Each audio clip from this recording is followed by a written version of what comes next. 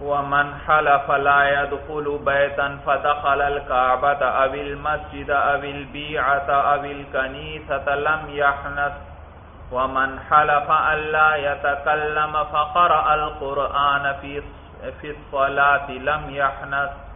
ومن حلف لا يلبس هذا الصوب وهو لابسه فنزعه في الحال لم يحنث.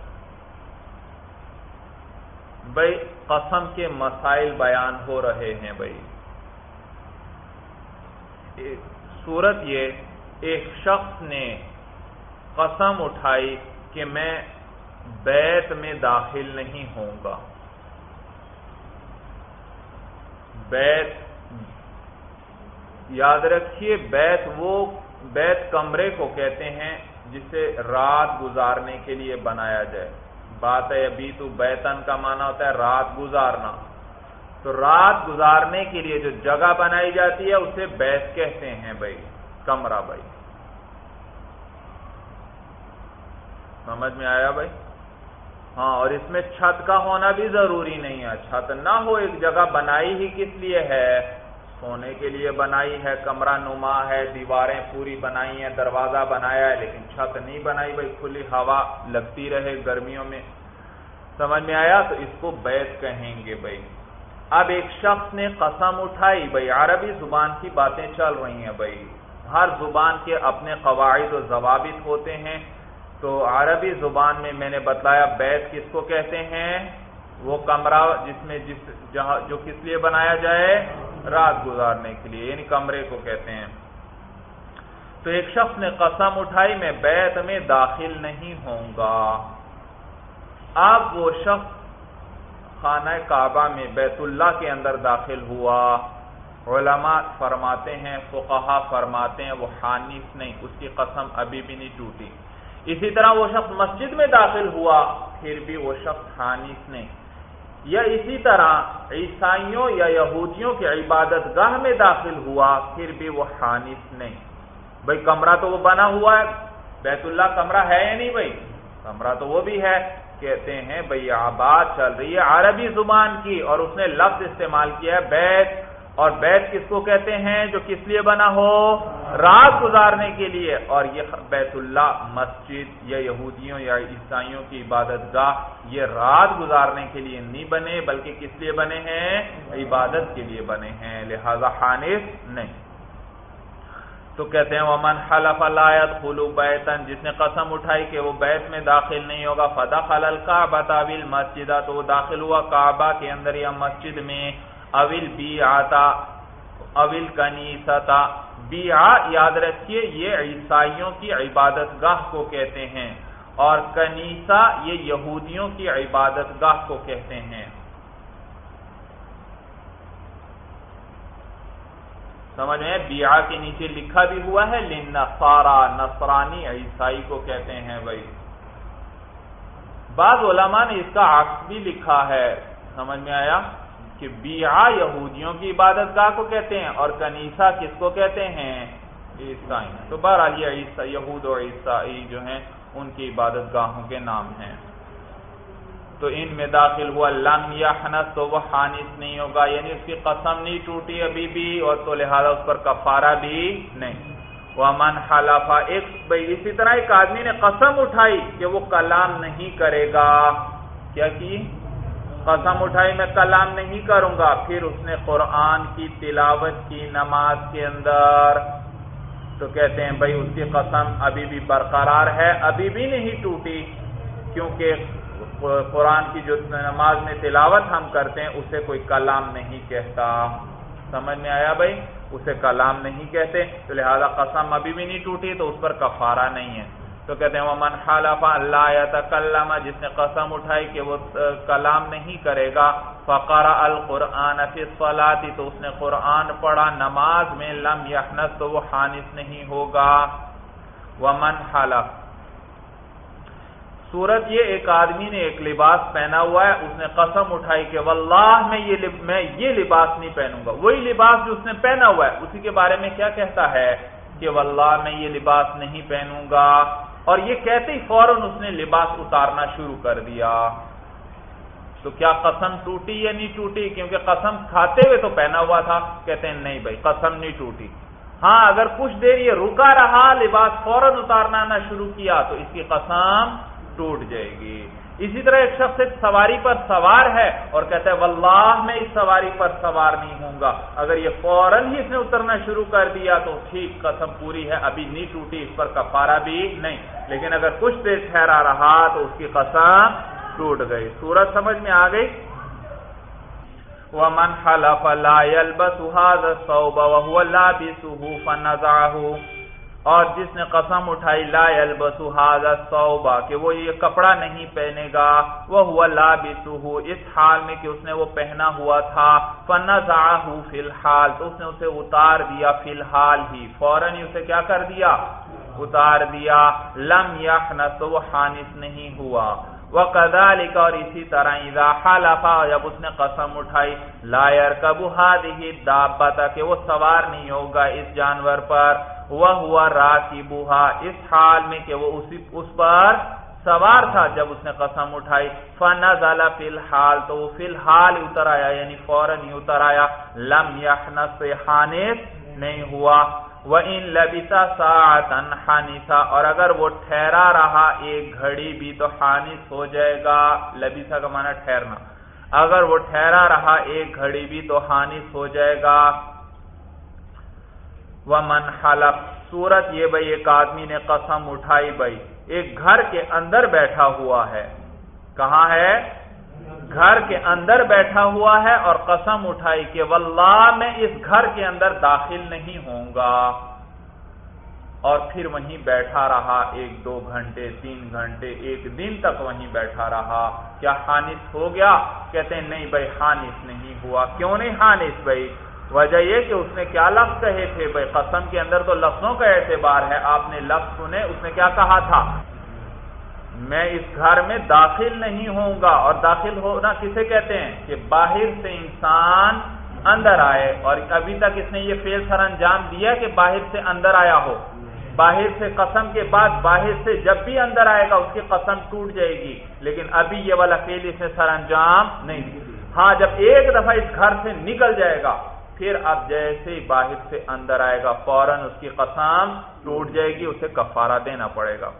ومن حلف لا يدخل هذه الدار اور جس شخص نے قسم اٹھائی کہ وہ داخل نہیں ہوگا اس گھر کے اندر وہ ہوا فیہا اس حال میں کہ وہ اسی گھر کے اندر تھا، لم يحنس بالقعود، تو وہ شخص حانس نہیں ہوگا بیٹھنے کی وجہ سے، چاہے جتنے دن مرضی وہیں رہے۔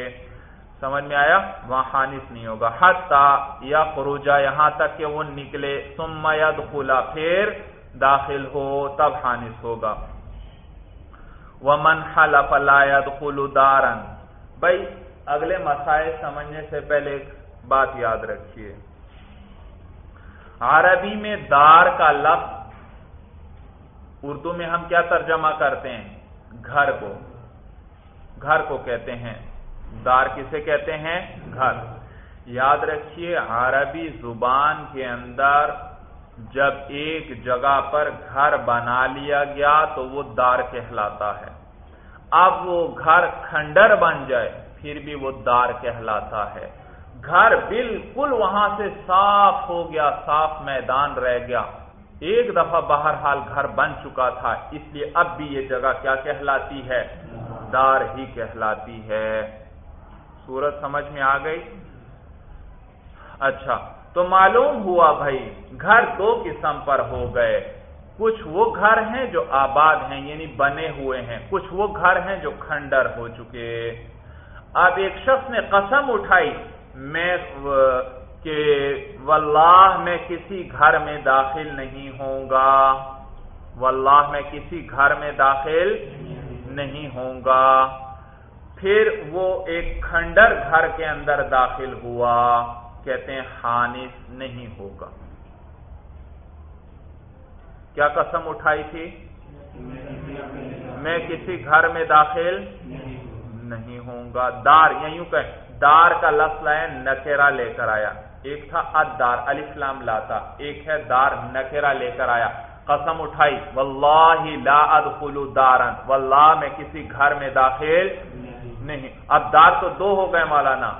ایک دار جو آباد ہے، ایک دار وہ جو کھنڈر بن چکا ہے۔ تو یاد رکھیے، اس نے دار کا لفظ کہا، کوئی قید ساتھ نہیں لگائی۔ کون سا دار مراد ہے؟ جو آباد گھر ہے یا کھنڈر گھر مراد ہے؟ تو زیادہ تر دار کا لفظ کس میں استعمال ہوتا ہے؟ کھنڈر گھر کے اندر یا آباد گھر کے اندر؟ آباد میں استعمال ہوتا ہے زیادہ تر، لہذا یہاں بھی وہ زیادہ جس میں زیادہ استعمال ہوتا ہے وہی مراد لے لیں گے۔ معلوم ہوا اس کے کہنے کا کیا مطلب ہے؟ میں کسی آباد گھر میں داخل؟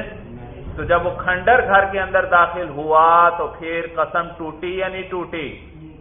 نہیں ٹوٹی، کیونکہ کون سا گھر مراد ہو گیا؟ آباد گھر۔ جب کھنڈر میں داخل ہوا تو وہ آباد گھر ہے؟ نہیں۔ تو آباد میں جائے گا، قسم ٹوٹ جائے گی۔ کھنڈر گھر میں گیا تو وہ تو مراد ہی۔ سورج سب کو اچھی طرح سمجھ میں آ گئی تو کہتے ہیں وہ من حلفا اور جس نے قسم اٹھائی، لا کلو دارن کہ وہ دار میں داخل نہیں ہوگا. فدخل دارن خرابن پس وہ داخل ہو گیا کھنڈر گھر کے اندر. خراب کا معنی کھنڈر بھائی. جو گر چکا ہو، لم یحنس تو وہ حانس نہیں ہوگا. ومن حلفا صورت یہ بھائی. ایک شخص نے قسم اٹھائی گھر کی طرف اشارہ کیا. کہتا ہے، واللہ لا ادخل هذه الدار. واللہ میں اس گھر کے اندر داخل نہیں ہوں گا۔ تو اس نے ایک شخص نے قسم اٹھائی، واللہ لا ادخل هذه الدار. واللہ میں اس گھر کے اندر داخل نہیں ہوں گا۔ اب اس نے دار کا لفظ ویسے نہیں کہا، اشارہ بھی کر دیا۔ کیا کر دیا؟ اشارہ بھی کر دیا۔ سمجھ میں آئی بات بھائی؟ اچھا بھائی۔ اب یاد رکھیے، اس صورت میں جب اس گھر میں اس گھر کے اندر یہ شخص داخل ہوگا حانس ہو جائے گا۔ چاہے یہ آباد گھر ہو، چاہے کھنڈر بن چکا ہو، چاہے بالکل صاف میدان بن چکا ہو، بھائی تینوں صورتوں میں کیا ہو جائے گا؟ حانس بھائی، کیا وجہ ہے؟ پچھلے مسئلے میں آپ نے کہا تھا کہ آباد گھر مراد لیں گے، کھنڈر گھر مراد وجہ یہ مانا نا کہ وہاں اس نے دار کا لفظ کہا تھا اور ساتھ کوئی قید نہیں بڑھائی تھی، کوئی صفت وغیرہ ذکر نہیں۔ تو وہاں ہم نے جو اکثر استعمال تھا اس لفظ کا ہم نے وہ مانا مراد لے لیے کہ اکثر کس میں استعمال ہوتا ہے؟ آباد گھر میں، تو اس سے آباد گھر مراد لے لیا۔ لیکن یہاں اس نے اشارہ کر دیا۔ اور یاد رکھیے، جب اشارہ کر دیا تو معلوم ہوا اس، یہ گھر مراد ہے، جب تک اس پر گھر کا لفظ بولا جائے گا تو یہ اس میں داخل ہونے سے کیا ہو جائے گا؟ کھانے چاہے کھنڈر بن جائے، وہ گھر وہی مراد ہے ہے اب بھی دار والا نا چاہے وہ کیا بن جائے؟ بالکل صحرا بن جائے، خالی جگہ بن جائے۔ ایک دفعہ گھر بن چکا تھا، اب یہ جگہ کیا کہلائے گی؟ دار کہلائے گی، سمجھ میں آیا؟ تو اب آباد کی قید نہیں لگائیں گی، کیونکہ اس نے باقاعدہ کیا کر دیا؟ اس کی طرف اشارہ کر دیا۔ تو اب اس صفت کا اعتبار نہیں ہوگا۔ آباد ہونے کی شرط نہیں بڑی۔ تو کہتے ہیں، ومن ومن حلف لا يدخل هذه الدار اور جس نے قسم اٹھائی کہ وہ اس گھر میں داخل نہیں ہوگا، فدخلها بعد من هدمت تو داخل ہو، وہ اس کے اندر بعد اس کے کہ وہ گر گیا تھا، وصارت صحراء اور صحرا بن گیا تھا حنیسا کیا ہو جائے گا؟ ہاں جیسے بھی داخل ہو مولانا، کیونکہ دار کا لفظ اب بھی اس پر بولا جا رہا ہے۔ ہاں اگر اس کی گرا کر کسی نے حمام بنا لیا کسی نے مسجد بنا لی یا کسی نے اس جگہ باغ لگا لیا، اب داخل ہوگا تو اب خانس نہیں۔ اب خانس کیوں نہیں خانس وجہ یہ کہ اب اس پر دار کا لفظ نہیں بولا جاتا۔ مسجد کو عربی میں دار نہیں کہتے، باغ کو عربی میں دار کسی بھی درجے میں نہیں کہتے، جبکہ ویسے بتلایا آباد گھر کو بھی دار کہتے ہیں، کھنڈر کو بھی کیا کہتے ہیں؟ دار کہتے ہیں، وغیرہ۔ ومن حلف لا يدخل هذا البيت فدخل صورت ایک آدمی نے کہا کہ واللہ میں اس کمرے میں، اس بیت میں داخل نہیں ہوں گا۔ اس بیت میں وہ کمرہ گر گیا، گرنے کے بعد اب وہ اس کے اندر داخل ہوا۔ کیا خانس ہوگا یا خانس نہیں ہوگا؟ کہتے ہیں خانس نہیں ہوگا۔ کیوں نہیں ہوگا؟ اس لیے کہ بیت کس کو کہتے ہیں؟ جس میں رات گزاری جائے۔ جب وہ گر گیا، اب وہ رات گزارنے کی جگہ رہی۔ اب اسے بیت نہیں کہا جاتا۔ سورج سمجھ میں آ گئی؟ تو کہتے ہیں، ومن حلف لا يدخل هذا البيت، اور جس نے قسم اٹھائی کہ وہ داخل نہیں ہوگا اس کمرے کے اندر، فدخل بعد من هدم تو اس میں داخل ہوا۔ اور بعد اس کے گر جانے کے لم يحنس وحانے نہیں ہوگا۔ ومن حلف اللہ يكلم زوجة فلان بھائی دیکھیے، یاد رکھیے، ایک شخص کہتا ہے کہ میں فلاں شخص کی بیوی سے بات نہیں کروں گا، کوئی عورت ہے، مثلا اس نے قسم اٹھائی کہ میں فلاں شخص کی بیوی سے، واللہ میں اس سے بات نہیں کروں گی۔ اچھا اب اس شخص نے اس عورت کو طلاق دے دی۔ اور طلاق کے بعد اب اس عورت نے کیا کیا؟ اس سے بات کی۔ تو حانس ہوگی یا حانس نہیں ہوگی؟ کہتے ہیں حانس نہیں ہوگی۔ حانس کیونکہ جب اس نے لفظ کہے تھے، کیا کہا تھا؟ فلاں شخص کی بیوی سے میں بات نہیں کروں گی۔ معلوم ہوا یہاں بات جب وہ اضافت کر رہی ہے، فلاں کی بیوی سے۔ معلوم ہوا مانع کون ہے، کس وجہ سے بات نہیں کر رہی؟ خامن کی وجہ سے۔ اسی لیے تو کہا میں مثلا زید کی بیوی سے بات نہیں کروں گی۔ معلوم ہوا یہاں مانع، کون ہے؟ زید ہے۔ زید کی وجہ سے، زید یعنی سبب ہے۔ اسی لیے اس نے کہا میں زید کی بیوی سے بات نہیں کروں گی۔ اگر اس کی ذات مراد ہوتی تو وہ نام لے لیتی۔ کہتی میں مثلا اس کی بیوی کا نام زینب تھا یوں کہتی میں زینب سے بات نہیں کروں گی۔ لیکن جب وہ کہہ رہی ہے میں زید کی بیوی سے بات نہیں کروں گی۔ معلوم ہوا یہ رکنے کا سبب کون بن رہا ہے دراصل؟ اسی لیے اس نے زید کا نام ذکر کیا کہ میں زید کی بیوی سے بات نہیں کروں گی۔ سمجھ میں آیا؟ معلوم ہوا زید کی طرف سے اسے کوئی تکلیف پہنچی ہے جب ہی اس نے کوئی قسم اٹھائی ہے قسم اٹھائی ہے۔ اگر اس کی بیوی کی طرف سے پہنچی ہوتی تو وہ اس کا کیا کرتی؟ نام لیتی یا اس کی طرف اشارہ کرتی؟ تو اس نے اشارہ بھی نہیں کیا، نام بھی نہیں لیا، زید کے حوالے سے اس کو ذکر کیا، معلوم ہوا یہاں روکنے، رکنے کا سبب کون بن رہا ہے؟ زید۔ لیکن اگر اشارہ کر دیا، بات کہتے ہوئے اشارہ بھی کر دیا، اس کی طرف کیا کر دیا؟ میں زید کی بیوی سے، یہ جو زید کی بیوی ہے، میں اس سے بات نہیں کروں گی، اشارہ بھی کر دیا۔ جب اشارہ کر دیا، آپ کو بتلایا۔ جب اشارہ کر دیا جائے، تو پھر صفت کا اعتبار نہیں، وہ ذات مراد ہوتی ہے۔ تو اب طلاق بھی زید دے دے گا، بعد میں بھی اس سے بات کرے گی، تو وہ عورت کیا ہو جائے گی؟ دوسری خانص ہو جائے گی۔ کیونکہ اشارہ کر دی جب اشارہ پھر صفت کا اعتبار نہیں۔ زید کی بیوی ہونے کا کوئی اعتبار کہ زید کی بیوی ہو یا وہ رہے یا نہ رہے، ہر صورت میں خانص ہو جائے۔ اسی طرح ایک شخص نے قسم اٹھائی، میں فلاں کے غلام سے بات نہیں کروں گا۔ تو یہاں بھی اب آپ بتائیے، کیا حکم لگایا جائے گا؟ ایک شخص نے قسم اٹھائی کہ واللہ میں زید کے غلام سے بات نہیں کروں گا۔ زید کا ایک غلام تھا، زید نے اسے کیا کیا؟ آزاد کر دیا۔ اب اس نے اس آزاد شدہ غلام کے ساتھ بات کر لی۔ یا زید نے اسے بیچ دیا، کسی اور کا غلام بن گیا۔ اب اس نے اس غلام کے ساتھ بات کر لی۔ تو حانس ہوگا یا نہیں۔ خانص نہیں، کیونکہ وہ زید، اضافت کے ساتھ ذکر کر رہا ہے۔ زید کا غلام معلوم ہوا، یہ رکنے کا سبب کون بن رہا تھا؟ زید۔ اور اب زید کا وہ غلام ہے ہی نہیں۔ اس نے تو کہا تھا، زید کے غلام سے بات نہیں کروں گا۔ اور یہ تو اب زید کا غلام رہا ہی نہیں۔ سورج سمجھ میں آ گئی، لیکن اگر اشارہ کر دیا مطلب اس کی ذات ہی مراد لے لی، تو پھر اس صورت میں زید چاہے بیچ بھی دے، پھر بھی اس سے بات کرے گا تو کیا ہو جائے گا؟ حانس ہو جائے گا۔ وہ من حلفا اور جس نے قسم اٹھائی اللہ یوکل زوجت فلان، کہ وہ کلام نہیں کرے گا فلاں کی بیوی سے۔ فصل کہا پس اس نے اس اپنی بیوی کو طلاق دے دی۔ بھائی یاد رکھیے، یہاں قید قید لگا لینا کہ جس نے قسم اٹھائی کہ وہ کلام نہیں کرے گا، فلاں کی بیوی سے اشارہ کرتے ہوئے۔ کیا کرتے ہوئے؟ ورنہ اشارہ نہ کرے تو اور حکم۔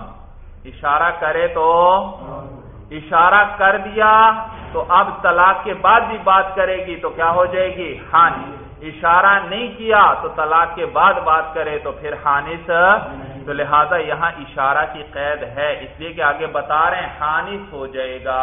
یہ قسم اٹھانے والا طلاق کے بعد بھی بات کرے گا تو کیا ہو جائے گا؟ اور یہ کس صورت میں ہوتا ہے؟ اشارہ کرے۔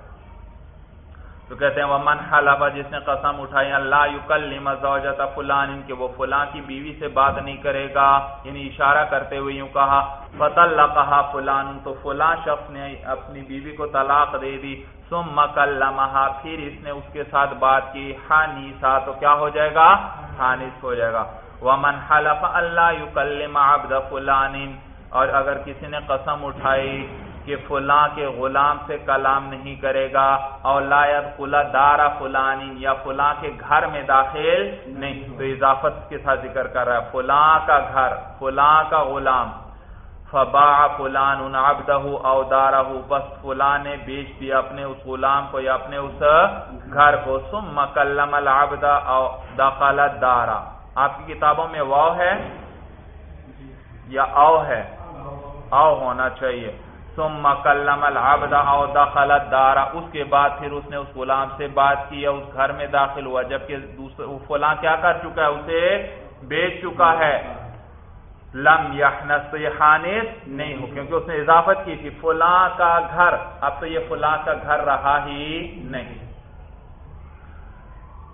وَإِنْ حَلَفَ أَلَّا يُكَلِّمَ صَاحِبَ هَذَا الطَّيْلَسَانِ فَبَعَ پہلسان بھائی، فا پر بھی فتحہ ہے، لام پر بھی فتحہ ہے۔ پہلسان یہ سبز رنگ کی چادر ہوتی تھی جسے بڑے بڑے علماء اور مشائق حضرات استعمال کرتے تھے بھائی۔ سبز رنگ کی بھائی، کوئی ہلکے سبز رنگ کی ہوگی بھائی، وہ بڑے بڑے مشائق اور علماء حضرات اسے استعمال کرتے تھے بھائی۔ اب ایک شخص نے قسم اٹھائی بھائی کہ چادر پڑی ہوئی تھی وہ ولی اس نے کہا، واللہ، اس چادر والے کے ساتھ میں بات نہیں کروں گا۔ اس چادر والے سے میں نہیں کروں گا۔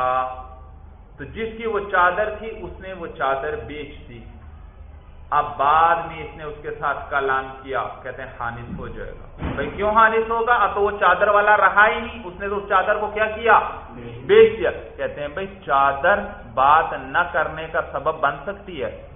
جی معلوم ہو چادر سبب نہیں تھی بات نہ کرنے کی۔ ویسے وہ بتلا رہا تھا یہ جو چادر والا ہے وہ کون ہے مثلاً؟ زید ہے۔ کہنا یہ چاہتا تھا میں زید سے بات نہیں کروں گا۔ اور زید کی تو چادر تھی۔ تو کہہ دیا میں چادر والے سے بات نہیں۔ تو چادر سبب نہیں بن سکتی بات کے نہ کرنے کا۔ تو چادر کا مالک ہوگا تو بات کرے تو اور حکم۔ چادر کا مالک نہ ہو تو اور حکم نہیں۔ یہاں ایسا نہیں ہوگا بھائی۔ چادر جب سبب ہی نہیں ہے تو اس پر حکم کا مدار بھی نہیں ہوگا۔ تو کہتے ہیں ان حلف اور اگر قسم اٹھائیں، اللہ یکلم صاحب حادت پہلسان کہ وہ کلام نہیں کرے گا اس سبق چادر کے مالک سے فباعہ تو اس نے اس چادر کو بیچ دیا، ثم کلمہ پھر اس نے اس کے ساتھ بات کی حانیسا تو کیا ہو جائے گا؟ حانیس ہو جائے گا۔ وَكَذَلِكَ إِذَا حَلَفَ، اور اسی طرح اگر اس نے قسم اٹھائی اللہ یا تکلم شابہ کہ وہ اس نوجوان کے اس جوان کے ساتھ بات نہیں کرے گا۔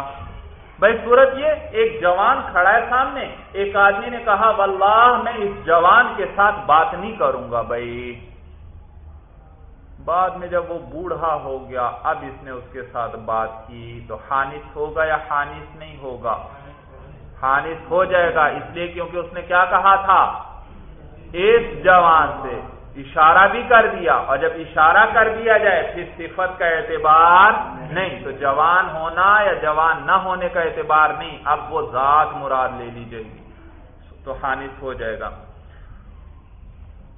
کہتے ہیں وہ کدا علی کا ادا حلف۔ اور اسی طرح جب یہ قسم اٹھائی کہ اللہ تکلم حاض شابہ کہ وہ کلام نہیں کرے گا اس جوان کے ساتھ فَكَلَّمَهُ بَعْدَمَا صَارَ شَيْخًا حَنِسًا پس کلام کیا، اس کے ساتھ بعد اس کے جب وہ بوڑھا ہو گیا تھا حانیسا تو حانس ہو جائے گا۔ وَإِنْ حَلَفَ أَلَّا يَأْكُلَ لَحْمَ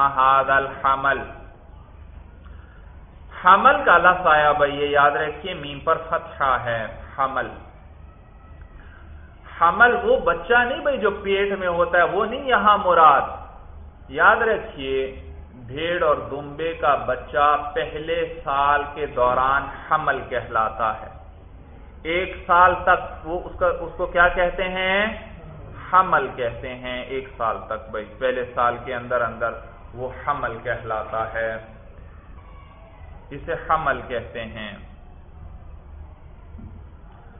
اسی طرح یاد رکھیے، بکری کا بچہ ہو اگر پہلے سال کے اندر اگر وہ مذکر بچہ ہے تو جد یون کہلاتا ہے۔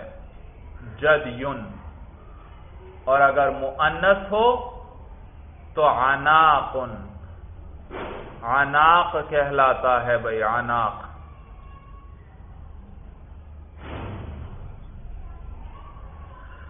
تو بھائی، سامنے بھیڑ کا ایک بچہ کھڑا تھا، اس شخص نے قسم اٹھائی اور کہا، واللہ، میں اس حمل کا گوشت نہیں کھاؤں گا۔ یہ جو بھیڑ کا بچہ سامنے کھڑا ہے، واللہ میں اس کا گوشت نہیں کھاؤں گا۔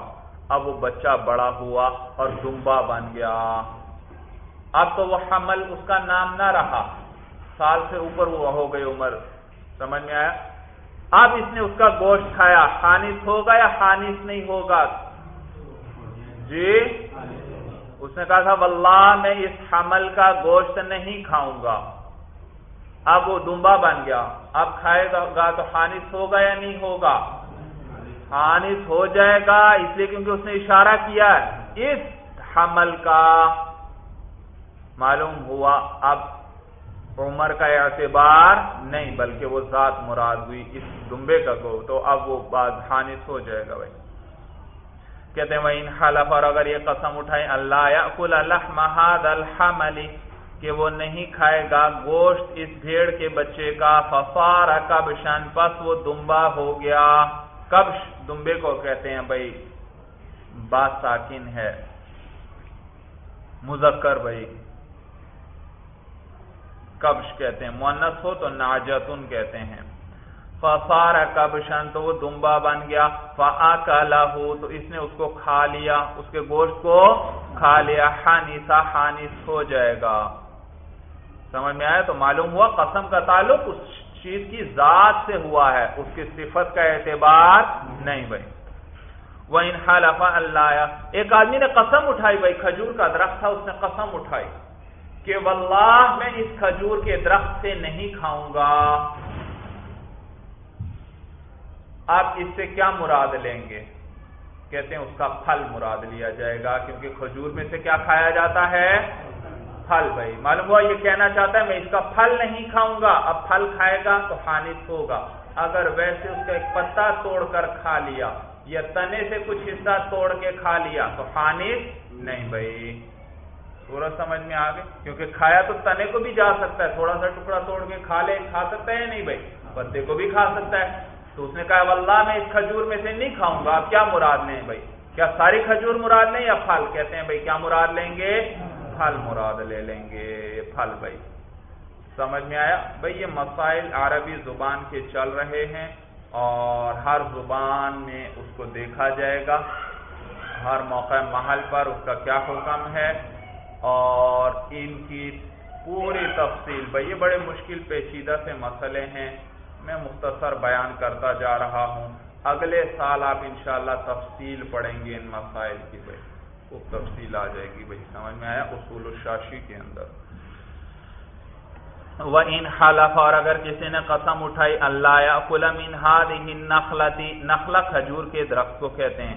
کسی نے قسم اٹھائی اللہ یا فلم ان نخلتی کہ وہ اس کھجور کے درخت میں سے نہیں کھائے گا۔ فہوا اللہ سمریحا تو یہ قسم جو ہے، اس کھجور کے پھل پر محمول ہے۔ یہ قسم کیا ہوگی؟ اس کے پھل پر محمول ہوگی. ومن حلف اللہ يأكل من هذا البصر فصار رطبا فأكله لم يحنث. یاد رکھیے، کھجور کا پھل جب درخت پر لگتا ہے تو شروع میں سخت ہوتا ہے، مٹھاس بھی اس میں جب آ جاتی ہے، پھر بھی سخت ہوتا ہے.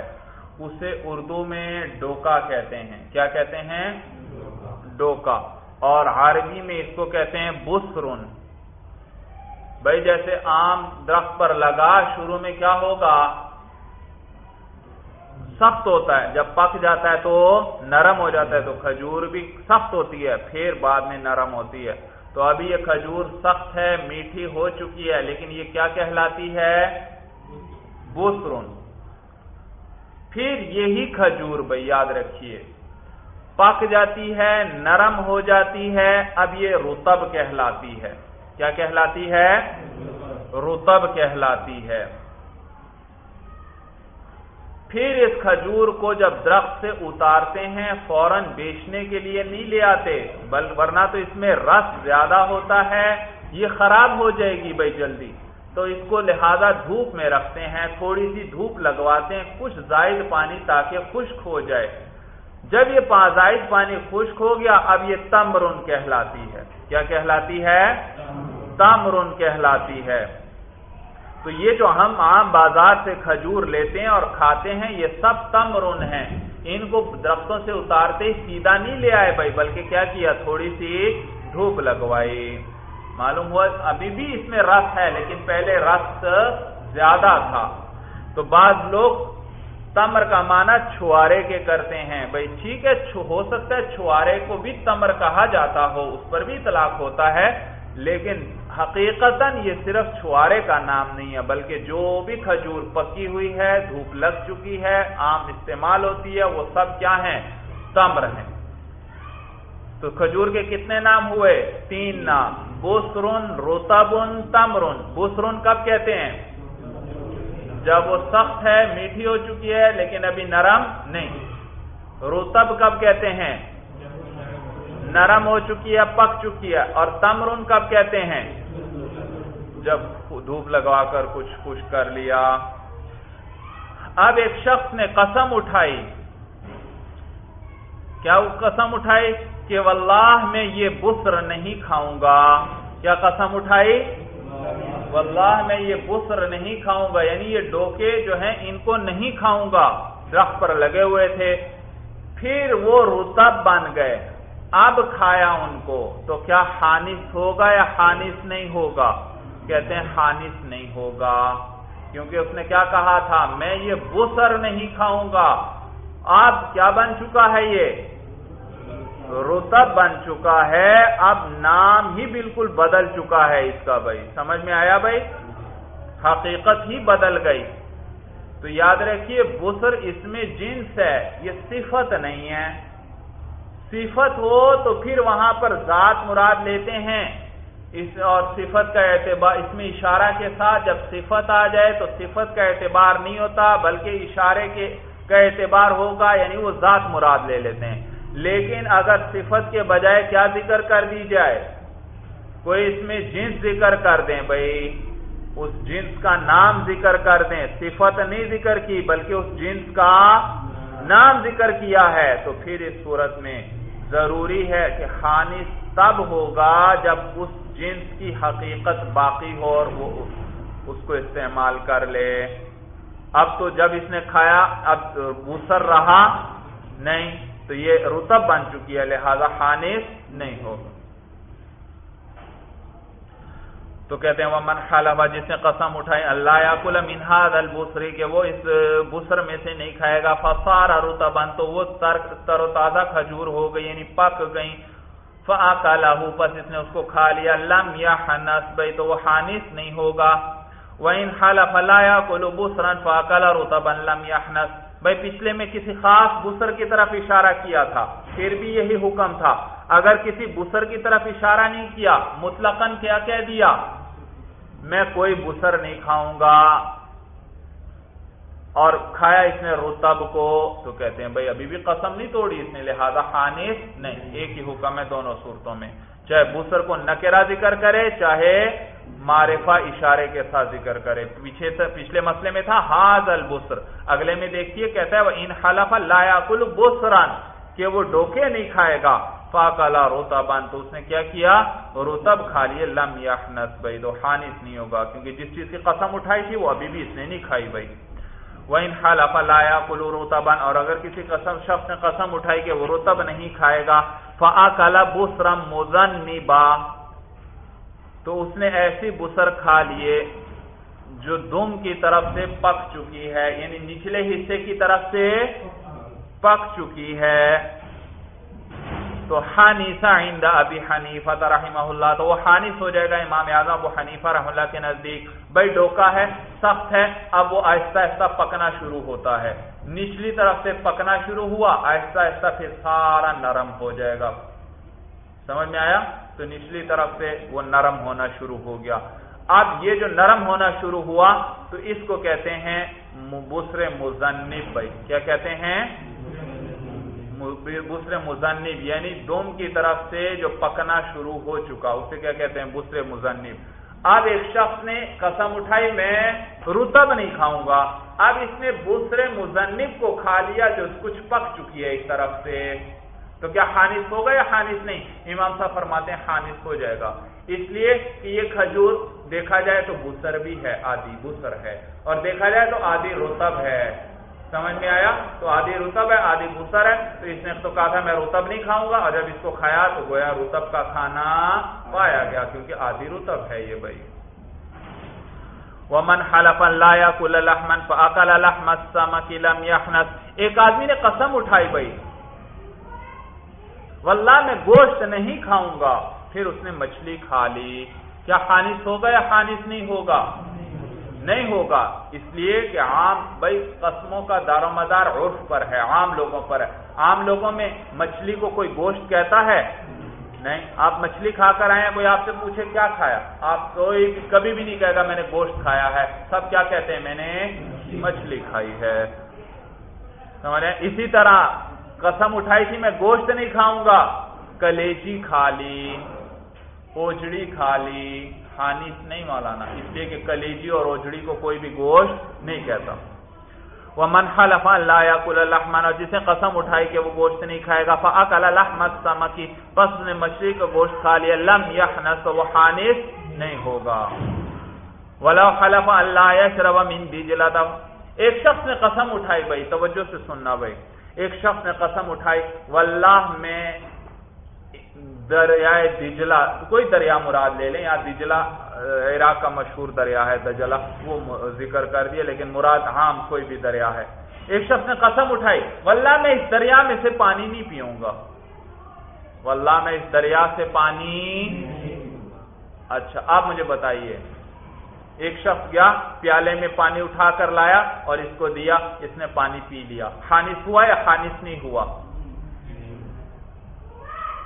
یاد رکھیے، وہ خانص نہیں ہوا۔ کیوں نہیں ہوا؟ بھائی، وہ دریا سے پی رہا ہے یا پیالے سے پی رہا ہے؟ پیالے سے پی رہا ہے۔ اور اس نے تو کیا کہا تھا؟ دریا سے نہیں پیوں گا۔ تو ابھی بھی اس نے تو دریا سے نہیں پیا بھائی، تو خانص نہیں ہوا۔ اچھا چلو وہ دریا کے پاس چلا گیا۔ ایک چلو بھر کر اس میں سے پیا۔ خانص ہوا یا خانص نہیں ہوا؟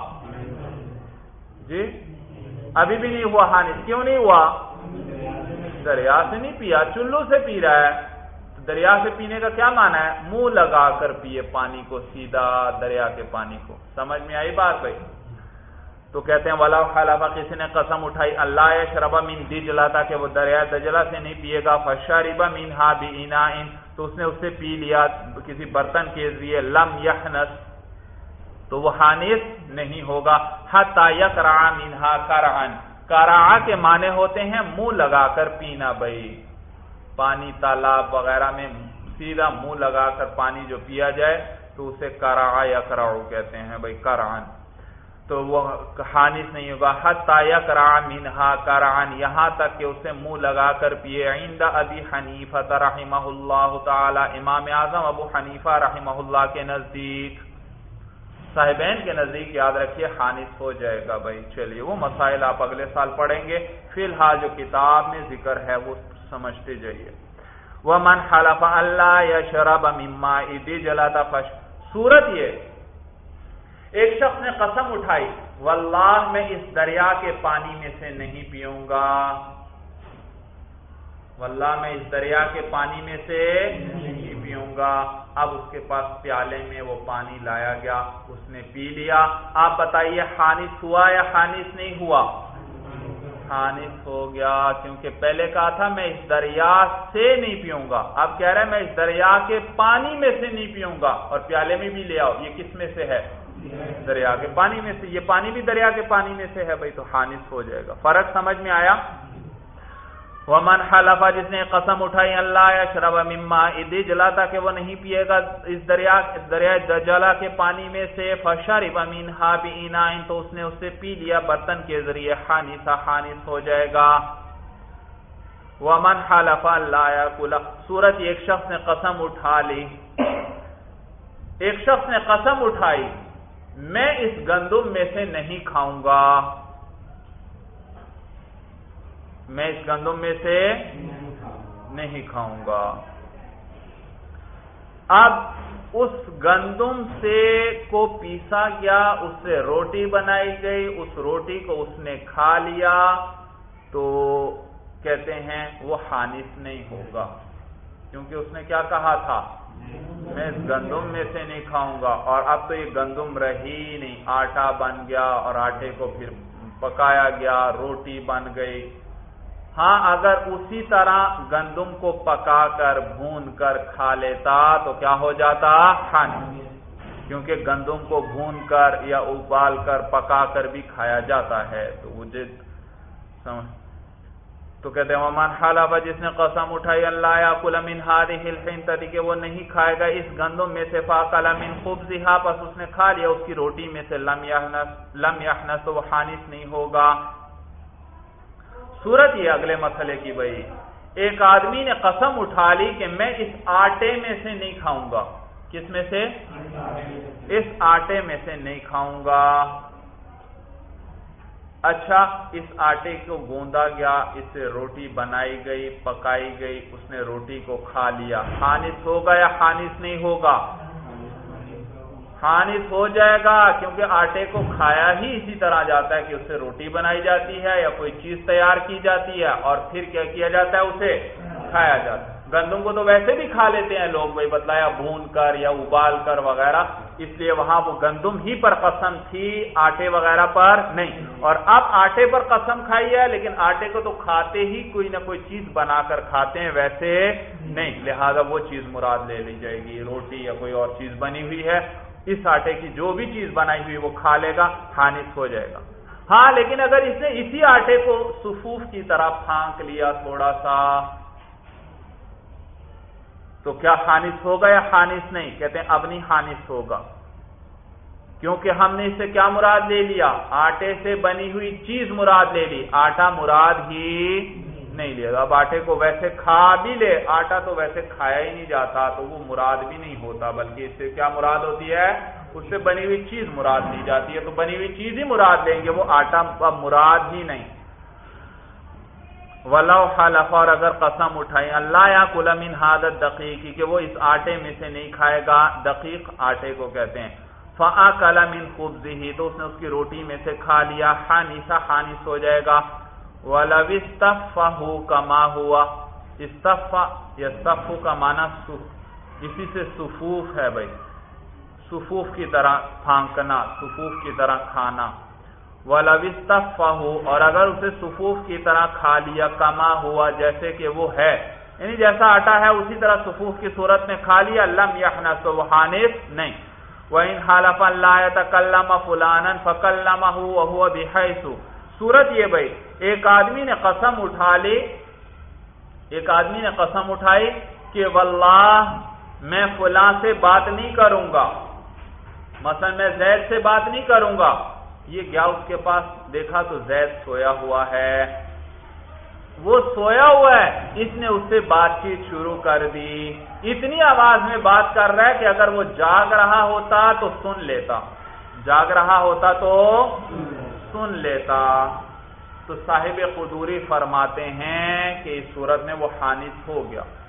کہ اس نے کیونکہ اس نے بات تو کر لی۔ بات کرنا کس کو کہتے ہیں؟ اس طریقے سے بات کی جائے کہ اس کے کان تک پہنچ جائے تو کہتے ہیں، میں نے فلاں سے بات کی۔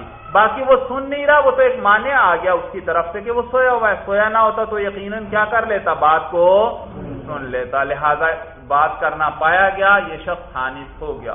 یہ ایک روایت ہے جو صاحب قدوری نے نقل کی۔ لیکن دوسری روایت ہے جو جس پر فتوا ہے کہ نہیں بھائی، یہ شخص حانس نہیں ہوگا۔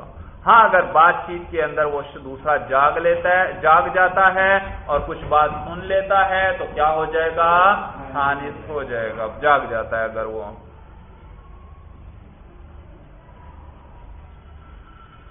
وہ ان حلف اگر کسی نے یہ قسم اٹھائی، اللہ تکلم فلان کہ وہ فلاں سے بات نہیں کرے گا فکلم ہو بس اس نے اس کے ساتھ کلام کیا وہ ہوا یسما اور وہ دوسرا اس حیثیت سے کہ سن رہا ہے۔ اللہ نہ مگر یہ کہ وہ سویا۔ کانوں میں یعنی اس کی آواز پڑ رہی ہے، لیکن وہ سویا ہوا ہے، تو پتہ نہیں چلا اسے، لیکن کانوں تک تو بات پہنچ گئی۔ ہانیسا تو یہ کیا ہو جائے گا؟ ہانیسا میں نے بتایا کہ فتوا دوسرے قول پر ہے کہ حانس نہیں ہوگا۔ ہاں اگر وہ جاگ جائے، پھر یہ حانس ہو جائے گا۔ وہ ان حلف اللہ اللہ بیزنی سورت یہ بھائی، ایک آدمی نے قسم اٹھا لی۔ کیا کیا؟ قسم اٹھا لی کہ میں فلاں سے اس کی اجازت کے بغیر بات نہیں کروں گا۔ یا کہا، کسی کو کہا، واللہ، میں تم سے تمہاری اجازت کے بغیر بات نہیں کروں گا۔ یہ کہا اور چلا گیا۔ بعد میں آپ بتائیے، بغیر اجازت کے بات کرے گا تو قسم ٹوٹے گی یا نہیں ٹوٹے گی؟ اور اجازت لے کر کرے گا تو قسم نہیں ٹوٹے گی۔ اچھا اس شخص نے اجازت دے دی اور یہ وہاں موجود ہی نہیں تھا۔ یہ وہاں موجود اجازت دے دی۔ اس نے اب بعد میں اس کے ساتھ ویسے ہی بات چیت شروع کر دی۔ اسے اجازت کا علم نہیں، لیکن اس نے کیا کیا؟ بات چیت شروع کر دی۔ تو کیا قسم ٹوٹ گئی؟ کہتے ہیں ہاں بھائی، قسم ٹوٹ گئی۔ بھائی اجازت لے کر تو بات کر رہا ہے، بھائی اجازت تو وہ دے چکا ہے۔ کہتے ہیں، بھائی اجازت کا معنی ہوتا ہے دوسرے کو اطلاع دینا۔ اور یہاں دوسرے کو اطلاع ہوئی ہے ابھی تک؟ نہیں، تو گویا یوں سمجھیں گے، ابھی بھی بغیر اجازت لیے ہی کیا کر رہا ہے، اس سے بات۔ مسئلہ سب کو سمجھ میں آ گیا؟ وہ ان حالف کسی نے قسم اٹھائی، اللہ یکلمہ اللہ بیت نہیں کہ وہ فلاں سے بات نہیں کرے گا، مگر اس کی اجازت کے ساتھ فاضین لہو پس دوسرے شخص نے اس کو اجازت دے دی واللم یعلم بالاذن اور اس کو علم ہی نہیں ہے اجازت کا۔ حتی کلمہ یہاں تک کہ اس کے ساتھ بات چیت کر لے۔ حانیسا تو یہ کیا ہو جائے گا؟ حانیس یوں یوں، گویا یوں ہی سمجھا جائے گا۔ اس نے بغیر اجازت کی کیا کر لیا؟ اس کے ساتھ بات کر لیا، کیونکہ اسے اطلاع نہیں اور اجازت تو کہتے ہی کس کو ہے؟ دوسرے کو۔ اطلاع دی جائے اس کے اندر بھائی۔ وہی رستخلف الوالی رجلن صورت یہ بھائی، شہر کے حاکم نے، گورنر نے ایک آدمی کو بلوا آدمی کو بلوایا، ایک، دو، چار جتنوں سے بھی قسم لے رہا ہے۔ ان سے قسم لی بھائی کہ اگر شہر میں کوئی شرپسند داخل ہوا، کوئی مفسد داخل ہوا، تو تم مجھے اطلاع کرو گے۔ سارے اس بات پر قسم کھاؤ، اس بات کا حلف اٹھاؤ۔ انہوں نے قسم اٹھا لی کہ ہاں بھائی، شہر میں جیسے کوئی مفت داخل ہوگا اور ہمیں پتا چلے گا ہم کیا کریں گے؟ جاسوسی کریں گے اور آپ کو اس کی اطلاع پہنچا دیں گے۔ قسم کھا لی۔ تو کیا آپ یہ ساری عمر کے لیے پابند ہو گئے؟ ساری عمر جب بھی کوئی شر پسند آئے، ان کے لیے ضروری ہے اسی آدمی کے پاس جائیں، وہ جو حاکم تھا، اس کو اور اسے اطلاع دیں۔ یا جب تک وہ حاکم ہے، اس وقت تک۔ کہتے ہیں بھائی یہ قسم اس وقت تک ہے تک کے لیے ان پر ہے جب تک وہ حاکم ہے۔ جب وہ گورنری سے معذول کر دیا گیا، ہٹا دیا گیا، تو اب قسم بھی ختم ہو گئی۔ قسم بھی اب وہ اطلاع نہ دیں، پھر بھی قسم نہیں ٹوٹے گی۔ بھائی کیوں نہیں ٹوٹے گی؟ انہوں نے تو کہا تھا کہ جو بھی داخل ہوگا، ہم کیا کریں گے آپ کو؟ اطلاع دیں گے۔ کہتے ہیں بھائی، اس اطلاع کا مقصد کیا تھا؟ وہ حاکم وہ اطلاع کیوں چاہتا تھا؟ کہ وہ اس کو جب اطلاع ملے گی، پھر وہ ان شر پسندوں کو دور کرے گا، ختم کرے گا شہر سے بھائی۔ تو وہ جب تک اس کی حکومت ہے، وہ اس پر قادر ہے۔ جب حکومت ختم، تو اب تو وہ ان کے شر کو ختم کرنے پر بھی قادر۔ اب اس کو اطلاع دینے کا کوئی فائدہ ہوگا؟ نہیں بھائی، لہذا اب قسم تو نہیں بھائی، معلوم ہوا۔ اس وقت تک تھی یہ قسم جب تک اس کا فائدہ بھی تھا، اس کے بعد اس کا فائدہ ہی کوئی نہیں۔ بات یہاں تک سب کو سمجھ میں آ گئی؟ وہ عزت حلفل والی رجولن جب قسم کھلوائی حاکم نے کسی آدمی کو، لیو لیو علی محبوبی کل دائرین، کہ وہ اس کو اطلاع دے گا۔ ہر دائر کہتے ہیں مفسد کو، فساد پھیلانے والا۔ کہ وہ اس کو اطلاع دے گا ہر مفسد کی دخل البلدہ، جو کیا ہو، شہر کے اندر داخل ہو۔ وہ ہوا اعلی حال ولایت ہی خاص تو یہ کس پر محمول ہوگی قسم؟ اعلی حال ولایت ہی خاص اس حاکم کی ولایت کے حال پر خاص طور پر۔ جب تک اس کی ولایت ہے، اس وقت تک قسم ہے، ان پر اطلاع دینا ضروری، ورنہ قسم ٹوٹ جائے گی اور کفارہ دینا پڑے گا۔ اور اگر اس کی ولایت نہ رہی تو قسم کا زمانہ بھی ختم ہوا۔ ومن حلف اللہ ارکبا دابت فلانی اور اگر کسی نے بھئی ایک آدمی نے قسم اٹھائی، میں زید کے کسی جانور پر سواری نہیں کروں گا۔ پھر اس نے زید کے عبد معذون کے جانور پر سواری کر لی۔ تو کیا خانص ہوگا یا خانص نہیں ہوگا؟ کہتے ہیں اس نے اگر تو یہ نیت کی تھی کہ خاص زید کی سواری مراد لی تھی۔ نیت پر نیت کا بھی دخل ہے، یاد رکھیے قسم میں، سمجھ میں آیا بھائی؟ اور کو بھی دیکھا جائے گا، نیت کو بھی دیکھیں گے۔ تو اب نیت اس کی کیا تھی؟ کیا کہنا چاہتا تھا؟ خاص زید کی سواری کی نیت اس نے کی تھی۔ تو پھر اس صورت میں تو خانص نہیں، کیونکہ ابھی بھی وہ زید کی سواری پر سوار نہیں ہوا، بلکہ اس کے عبد معذون کی سواری پر اور اگر مراد کی زید کی کوئی مملوکہ سواری ہو، میں اس پر سوار نہیں ہوں گا۔ تو کہتے ہیں اس صورت میں پھر غور و فکر کر لو۔ اگر تو عبد معذون پر، آپ جانتے ہیں، عبد معذون کے پاس جو کچھ ہے، سارا کچھ آقا کا ہے، لیکن اگر اس پر اتنا دین آ جائے جو اس کی ساری رقبہ کا احاطہ کر لے، اس غلام کی ساری قیمت کا کیا کر لے؟ احاطہ کر لے تو پھر آقا اس کے مال کا مالک نہیں رہتا۔ تو اگر اس پر اتنا دین تھا تو اب یہ چیز سواری جو اس کے پاس ہے وہ زید کی مملوک نہیں۔ جب زید کی مملوک نہیں تو اس پر سوار ہونے سے وہ حانس بھی نہیں۔ سمجھ میں آئی بات؟ اور اگر اس پر اتنا دین نہیں ہے اور اس کی نیت کیا تھی قسم کھانے والے کی؟ زید کی کسی مملوکہ جانور پر میں سواری تو یہ تو عبد معذون پر بھی ابھی دین نہیں ہے، اس کی بھی جو چیزیں اس کے پاس ہیں، ان کا بھی مالک زید ہی ہے، تو لہذا اب کیا ہو جائے گا؟ حانس ہو جائے گا۔ وہ منحلفا جس نے قسم اٹھائی، اللہ ارکب دابت فلانی، کہ وہ سواری نہیں کرے گا فلان کی جانور پر۔ فرق بداب بدا بہل معذونی بس وہ سوار ہو گیا اس شخص کے عبد معذون کی سواری پر۔ لم یحنس تو حانس نہیں ہوگا۔ ومن حلف لا يدخل هذه الدار فوقف على سطحها او دخل دهليزها حانسا اور جس شخص نے قسم اٹھائی اور جس شخص نے قسم اٹھائی اللہ ہی دارا کہ وہ اللہ وہ اس گھر کے اندر داخل نہیں ہوگا۔ ایک شخص نے کیا قسم اٹھائی؟ اس گھر میں داخل نہیں ہوگا۔ پھر وہ چھت کے ذریعے اس کی چھت پر آ گیا۔ تو خانص ہوا یا خانص نہیں ہوا؟ کہتے ہیں بھائی اس صورت کے اندر خانص ہو گیا، چھت پر بھی آ جائے تو کیا کہتے ہیں لوگ، یہ اس کے گھر میں داخل ہو گیا۔ اسی طرح اس نے قسم کھائی تھی، میں اس کے گھر میں داخل نہیں ہوں گا، اس کی ڈیوڑی میں داخل ہو گیا۔ یعنی وہ جو دروازے سے گھر تک کا جو جو چھت سی ڈلی ہوئی ہے، اس میں داخل ہوا۔ تو کہتے ہیں، بھائی دروازے سے اندر آ گیا تو بس کیا کہیں گے؟ گھر میں داخل ہو گیا.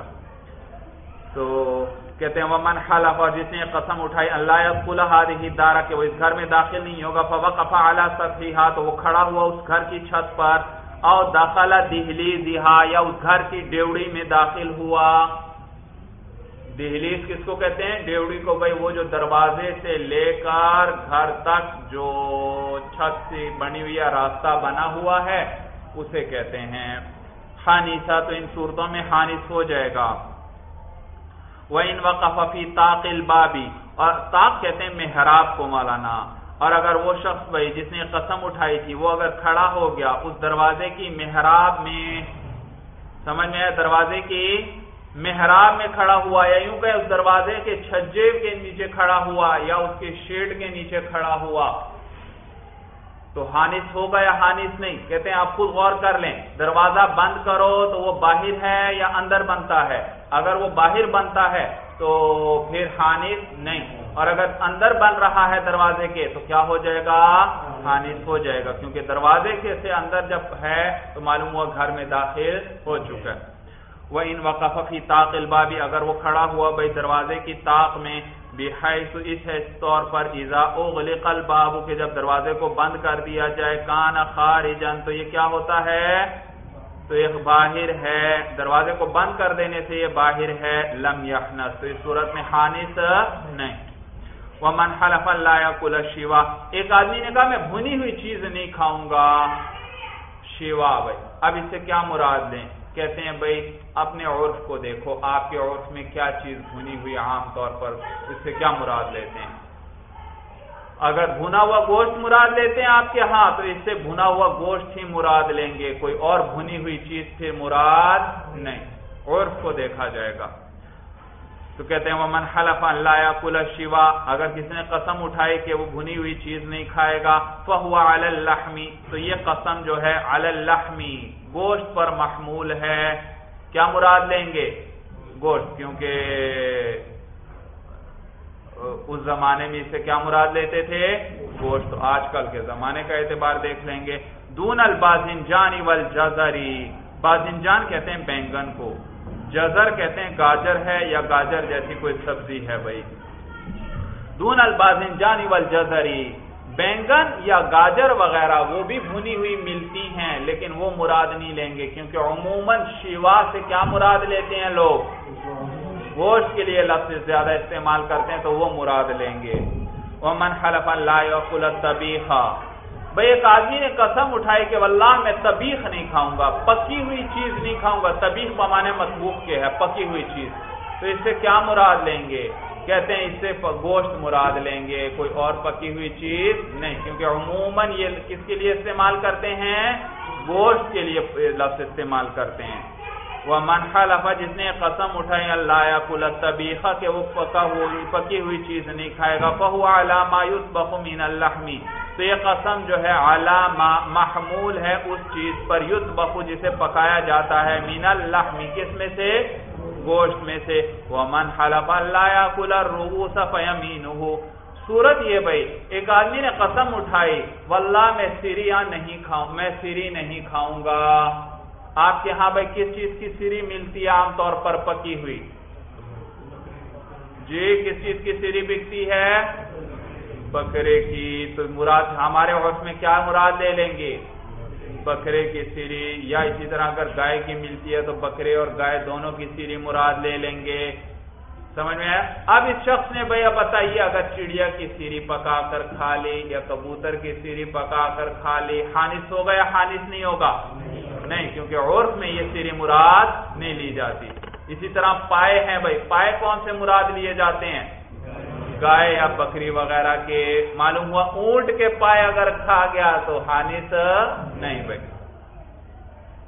ومن حلفہ جس نے قسم اٹھائی، اللہ یا کلا روسا کہ وہ سیریاں نہیں کھائے گا۔ روس جمع ہے راس کی، سیری کو کہتے ہیں۔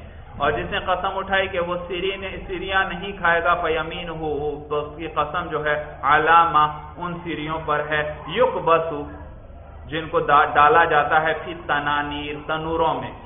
یعنی تنوروں میں ڈال کر پکایا جاتا ہے، مراد یہ ہے۔ جن کو تنوروں میں ڈالا جاتا ہے یعنی ان میں پکایا جاتا ہے۔ وہ یوبا فل مصری اور شہر کے اندر بیچا جاتا ہے، وہ مراد لیں گے۔ جو بھی جو بھی وہ تنوروں میں پکائی جاتی ہے اور شہر میں بیچی جاتی ہے، وہ مراد لیں گے۔ وہ من حلف لایا کل القبض فیمین ہو اچھا ایک آدمی نے قسم اٹھائی، واللہ، میں روٹی نہیں کھاؤں گا۔ تو کون سی روٹی مراد لیں گے؟ کہتے ہیں بھائی جو اس علاقے میں عادت ہے، عموماً جو لوگ کھاتے ہیں، وہ روٹی مراد لیں گے۔ لہذا ایک شخص نے بھائی کوئی خاص چاول کی روٹی مثلا کھا لی، علاقے میں گندم کی روٹی مراد لیتے ہیں اس سے، یا جو کی روٹی کھائی جاتی ہے۔ اور اس نے کون سی روٹی کھا لی؟ چاول والی۔ کیا خانص ہوگا یا خانص نہیں؟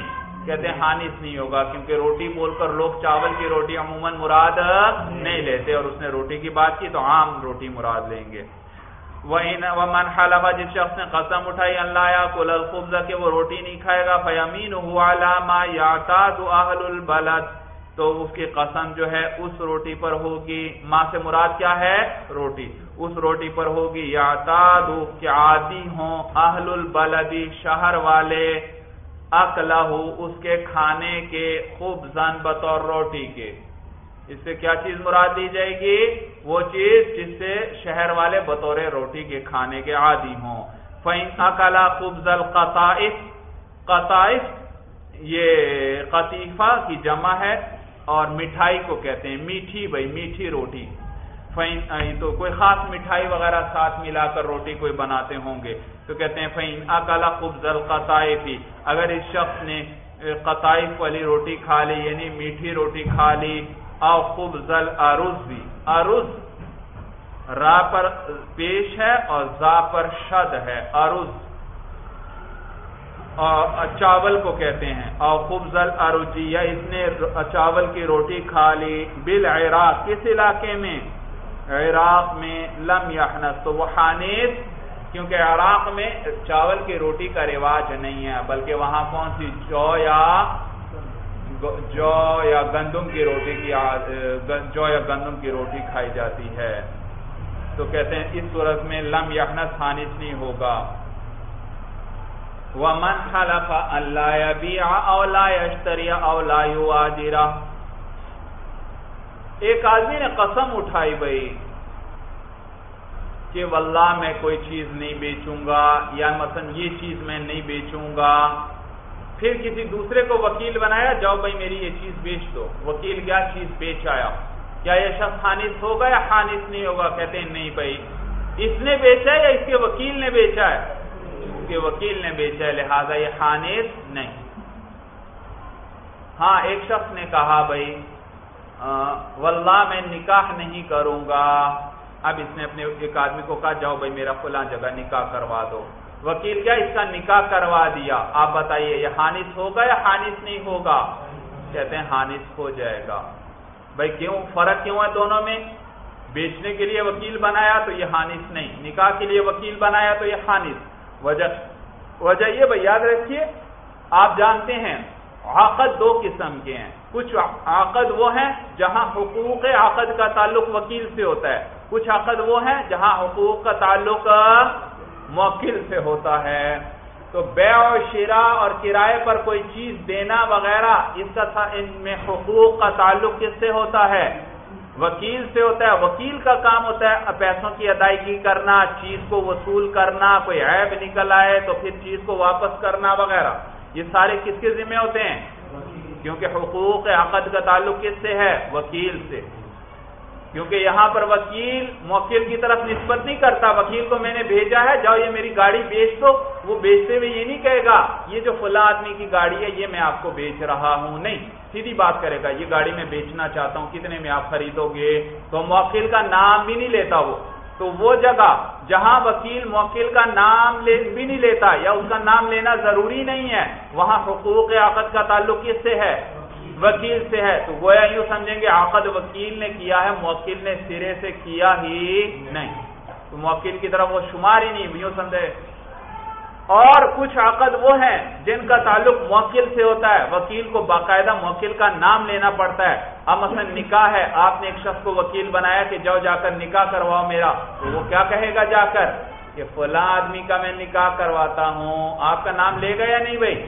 اگر آپ کا نام نہ لیا پھر تو اس کا اپنا نکاح ہو جائے گا بھائی۔ تو لہذا یہاں پر جب موکل کا جہاں نام لینا ضروری ہوتا ہے، وہاں حقوق عقد کا تعلق بھی کس سے ہوتا ہے؟ موکل ہی سے ہوتا ہے، گویا موکل ہی نے یہ کام سر انجام دیا ہے۔ لہذا آپ چاہے اس قسم کے مسئلے میں وکیل بنا بھی لے، پھر بھی یوں سمجھیں گے، گویا کس نے یہ عمل کیا ہے؟ موکل نے تو ہانس ہو جائے گا۔ صورتیں سمجھ میں آ گئیں۔ ایک شخص نے قسم اٹھائی تھی، میں گاڑی یہ والی اپنی نہیں بیچوں گا۔ پھر کسی کو وکیل بنایا کہ جاؤ میری یہ گاڑی بیچ دو۔ اس نے گاڑی اس کی بیچ دی۔ یہ ہانس ہوا؟ یہ ہانس نہیں۔ اور ایک شخص نے قسم اٹھائی تھی، قسم اٹھا لی، میں واللہ نکاح نہیں کروں گا۔ اب اس نے ایک وکیل کو بنایا، جاؤ فلاں جگہ میرا نکاح کروا دو۔ اب اس نے نکاح کروایا، تو یہ کیا ہو جائے گا؟ خانص ہو جائے گا۔ مسائل بھی سمجھ آ رہے ہیں کہ مشکل ہیں بھائی۔ یہ سب پرانی باتیں میں ویسے دوہرا رہا ہوں۔ ساتھ صرف قسم کی تفصیل نہیں تھی، باقی وکیل کی قسمیں اور عقد جو ہیں، یہ تو پرانی بات ہے وہ من جس نے قسم اٹھائی، اللہ یبیع اولا یشتری، کہ وہ بیچے گا نہیں یا خریدے گا نہیں اولا یواجرا یا کرائے پر کوئی چیز نہیں دے گا۔ فوکل تو اس نے وکیل بنایا من، ایسے شخص کو۔ فعل ذالک جس نے یہ کام کیا، لم یحنس تو یہ حانس نہیں ہو۔ فوکل من فعل ذالک اس نے وکیل بنایا، اس ایسے شخص کو جس نے یہ کام کیا، لم یحنس تو یہ حانس نہیں ہوگا۔ ومن حلف لا يجلس على الارض اور جس شخص نے قسم اٹھائی کہ وہ زمین پر نہیں بیٹھے گا، فجلس على بساط پس یہ سخت بچھونے پر بیٹھا او على حسير یا چٹائی پر بیٹھا۔ ایک آدمی نے قسم اٹھائی، واللہ میں زمین پر نہیں بیٹھوں گا. پھر اس کے بعد وہ کسی دری پر بیٹھ گیا۔ کسی بسترے پر بیٹھ گیا یا کسی چادر پر بیٹھ گیا جو زمین پر بچھے ہوئے ہیں یا کسی چٹائی پر بیٹھ گیا جو زمین پر بچھی ہوئی ہے، تو کیا حانس ہوگا یا حانس نہیں ہوگا؟ کہتے ہیں حانس نہیں، کیونکہ کوئی بھی یہ نہیں کہتا یہ زمین پر بیٹھا ہوا ہے، بلکہ کیا کہتے ہیں؟ چٹائی پر بیٹھا ہے، یہ دری پر بیٹھا ہے۔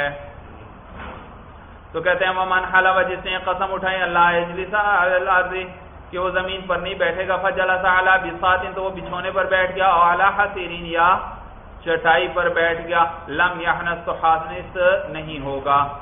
بھئی ایک آدمی نے قسم اٹھائی کہ واللہ میں چارپائی پر نہیں بیٹھوں گا۔ کیا قسم اٹھائی؟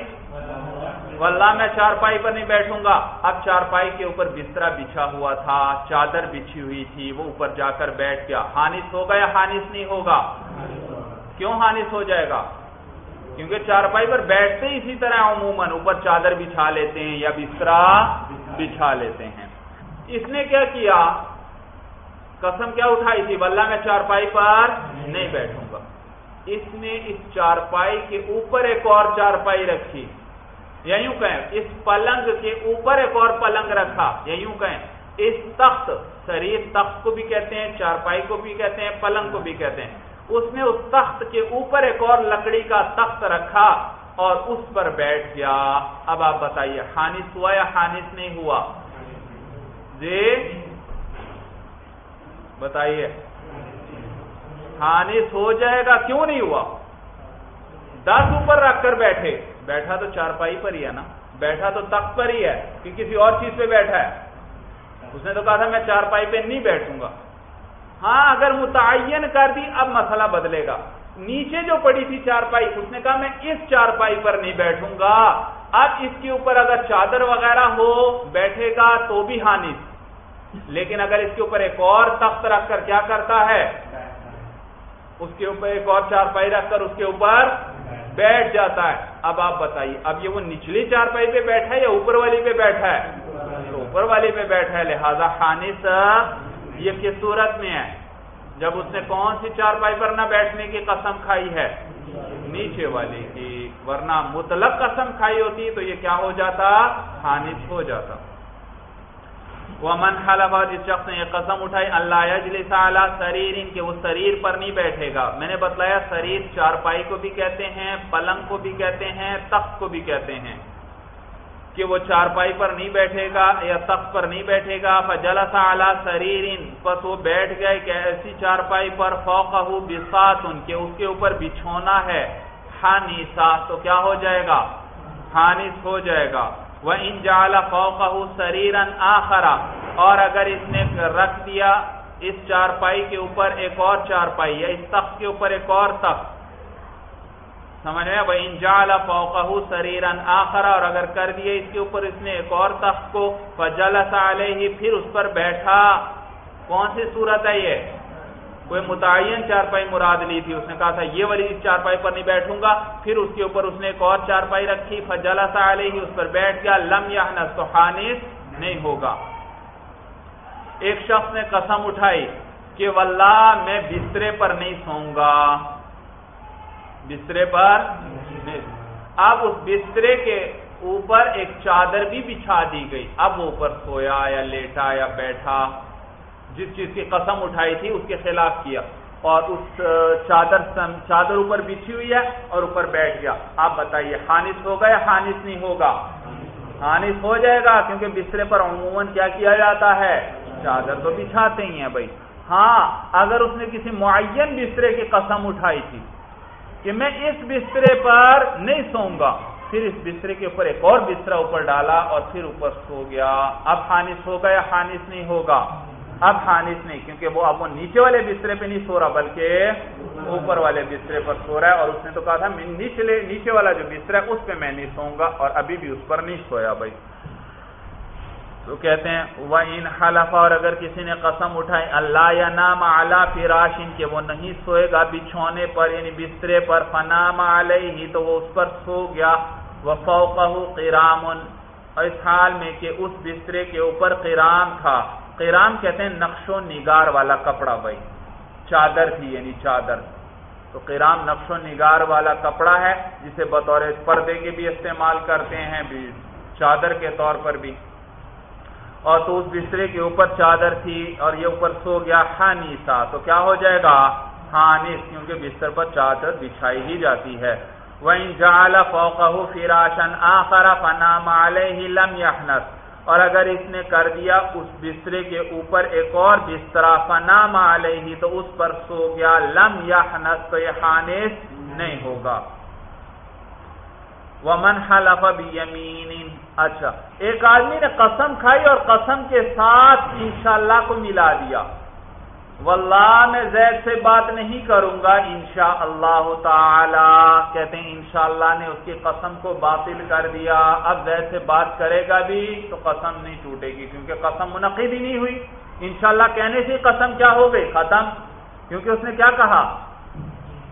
واللہ میں زید سے بات نہیں کروں گا، انشاءاللہ۔ انشاءاللہ کا کیا معنی ہے؟ اگر اللہ نے چاہا یعنی معلق کر دیا اپنی قسم کو اللہ کی مشیت اور اللہ کے ارادے کے ساتھ۔ اگر اللہ نے چاہا اور اللہ کی مشیت اور ارادے کا علم ہو سکتا ہے، اس کا تو پتہ ہی نہیں، علم ہی نہیں ہے۔ لہذا قسم بھی منعقد نہیں۔ تو کہتے ہیں وہ من حلف بھی یمین اور جس نے حلف اٹھایا کسی قسم کے ساتھ یعنی کوئی قسم اٹھائی، وقال انشاء اللہ اور اس نے انشاءاللہ کہا متصلم بھی یمینی ہی اپنی قسم کے ساتھ ملاتے ہوئے، بھائی ملانا ضروری ہے، درمیان میں اگر رک گیا، پھر انشاءاللہ بعد میں کہا، اب اس کا کوئی اعتبار نہیں. ایک آدمی کہتا ہے، واللہ میں زید سے بات نہیں کروں گا. انشاءاللہ چند لمحے رکا، پھر انشاءاللہ کہا۔ اب اس کا کوئی اعتبار ملا کر کہا تو پھر قسم باطل ہوگی، ورنہ باطل نہیں بھائی۔ تو اس نے کہا، اسی لیے کہا، متصل یمینی ہی اپنی قسم کے ساتھ ملاتے ہوئے انشاءاللہ کہا فلاح علیہ، تو اس پر حانس ہونا بھی نہیں ہے۔ کیونکہ قسم ہی نہیں منعقد ہوئی، تو حانس ہونا کہاں سے؟ چلیے بس مولانا المرام، واللہ علم بحقیقت الکلام۔